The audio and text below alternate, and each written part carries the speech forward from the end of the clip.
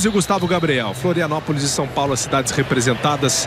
Marcelo com 57 quilos, na verdade com 59 quilos, né? Categoria peso combinado ali entre os moscas e entre também peso galo. 1,65m de altura para o Marcelo, 1,67m para o Gustavo Gabriel. Seis vitórias, uma derrota tem o Marcelo. 11 vitórias invicto na carreira o Gustavo Gabriel. É a penúltima luta da noite. Muito bem, senhoras e senhores, vamos para a penúltima luta da noite para o Coleman Event. Peso combinado até 59 quilos e emoções. É com certeza o que não vai faltar nesse confronto. E elas começam desse jeito, pois no corner azul, ele que vem da tabela em Florianópolis, sua equipe Rangel Faria, sete lutas, seis vitórias, uma derrota, 1,65m, 25 anos de idade, 59 quilos. Senhoras e senhores, este é o guerreiro Marcelo Hulk Dias! Seu adversário para esse confronto está no corner vermelho da cidade de São Miguel dos Campos, em Alagoas. Sua equipe, Shootbox Diego Lima. 11 lutas, 11 vitórias, 1,67m, 22 anos de idade, 58,9 na balança.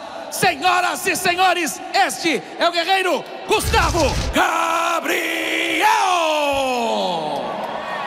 E o árbitro central desse confronto, professor Fernando Portela.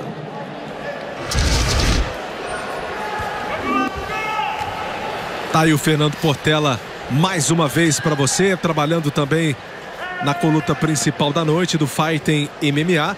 Ele esteve também na, na, em outra luta que precisou ter uma decisão de fora, né? Uma conversa melhor aí com, com os assistentes, os representantes da Comissão Atlética Brasileira de MMA. Vamos ver se ele vai fazer uma luta mais tranquila nesse momento. Vamos ver se, se a coisa vai ser definida aí dentro, sem problemas entre os dois lutadores, entre o Marcelo Dias e o Gustavo Gabriel. Gustavo Gabriel já começa encurtando bem a distância, os dois braços esgrimados ali nas costas, né, fazendo a trava ali no, ali no tronco, o barilock. E vai envergando o corpo o Marcelo Dias para tentar sair. Inverteu, levou para o outro lado. E mais uma vez, ó, consegue fazer de novo ali a trava no tronco. Bota muita pressão também na ponta do pé ali, botando força para cima do Marcelo Dias. Joelhada agora, a primeira joelhada do Gustavo Gabriel. Mais uma, belíssima queda do Marcelo Dias. Girou no vento aí, girou no ar. O Gustavo Gabriel. Já recupera a posição. Tem o braço já enganchado, o braço pego. Vai soltando as joelhadas também ali o Marcelo Dias. Vai tombando por cima. E tentando ali uma americana. Bem defendida. Vai por cima agora na meia guarda aí o Gustavo Gabriel. Se mostrando muito arisco. Copo de direito entrou. Ele já vem mochilando, vem montando já nas costas. Aí desiste ali da posição rapidamente, teve que pensar rápido, né? Tentou passar um gancho agora no pescoço. Tenta se proteger o Marcelo Dias. O Marcelo Hulk. Aí o Hulk vai manter a distância. Chute frontal também de Gustavo. Hulk ataca, mostrando agora as suas armas. Apenas com 1 minuto e 50 né, do primeiro round. Que o Marcelo Dias conseguiu aí desferir o primeiro golpe. Com liberdade para cima do Gustavo. Parece que a coisa agora fica mais equilibrada aí, pelo menos em pé. Mais um chute ali que explode no braço do Marcelo Huck. Assim como o seu swing aí também que explodiu para cima da guarda ali do Gustavo. Viratório ali tentando pegar de surpresa o Marcelo. Buscando aproximação nesse momento Marcelo. Aí com os punhos azuis.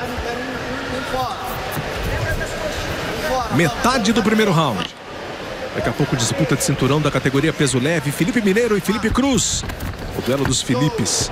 Uma joelhada meio, meio esquisita, né? improvisada ali do Marcelo.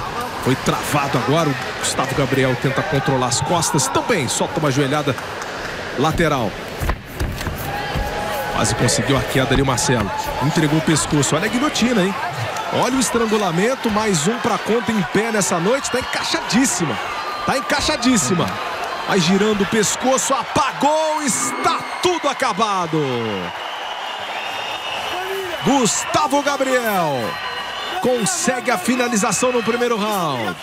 Marcelo Dias, tudo apagado para ele. Só ele é merecedor todos os aplausos. Mandou o seu recado aí, Gustavo Gabriel. Foi cirúrgico, Arthur Mariano. Olha, ele encaixou de uma forma, deu para ver ali o braço. Encaixou muito bem a guilhotina. Olha, excelente queda do Marcelo Dias. Mais uma vez, estava grudadinho ali, tentando ali parecer uma Kimura. Depois faz uma gerada, tentou ir para as costas, mas estava bem defendido ali o queixo. Trabalhou a joelhada, depois tenta. Olha o momento, encaixou bem a guilhotina. Vamos ver aí. Aí estava encaixadíssimo. Nossa, céu. Foi para os 10 dedos, apagou. Excepcional o movimento aí, ó. Esse movimento tá encaixado ali, complicou. Ele nem defendeu. Nem defendeu, já foi. Pegou forte na posição, apagou. Grande vitória, hein?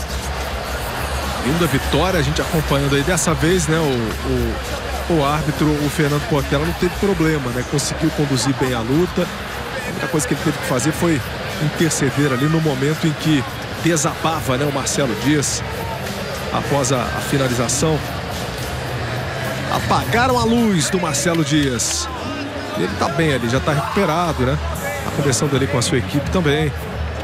Muita vibração também por parte da equipe. Muito bem, senhoras e senhores, vamos para o anúncio oficial deste confronto. Aos 3 minutos e 2 segundos, o árbitro central, professor Fernando Portela, interrompeu o confronto e declara vencedor, neste caso, com a perda de consciência, portanto, por nocaute, o atleta Gustavo Gabriel. Gustavo